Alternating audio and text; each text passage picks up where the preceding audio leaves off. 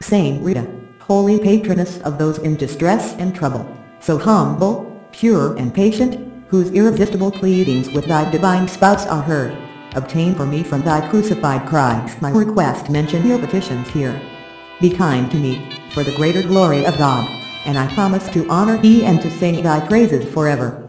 O glorious Saint Rita, who miraculously participated in the sorrowful passion of our Lord Jesus Christ, obtain for me the grace to suffer with resignation the troubles of this life, and protect me in all my needs. Amen.